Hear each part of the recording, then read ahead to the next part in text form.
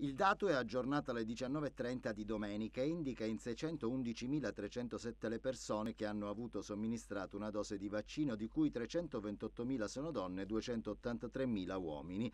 Le dosi di vaccino consegnate in Sicilia sono state 754.000, dunque sono state utilizzate 8 dosi su 10. 12 siciliani su 100 sono stati già vaccinati, è quanto emerge dal report delle vaccinazioni diffuso dal Ministero della Salute. La parte più grande dei vaccini vaccini è andata agli operatori sanitari e sociosanitari con 215.000 somministrazioni, poi ci sono il personale non sanitario con 148.000 dosi, gli ospiti delle strutture residenziali con 33.000, gli over 80 con oltre 125.000, i rappresentanti alle forze armate con 27.000 e il personale scolastico con 58.000 persone vaccinate. L'assessore regionale alla salute Ruggero Razza ha fatto una raccomandazione ai siciliani attraverso Facebook. È del tutto inutile, ha scritto Razza andare molte ore prima rispetto alla prenotazione ed è necessario rispettare le regole di priorità. Se si vogliono evitare lunghe file, la prima regola è rispettare gli orari.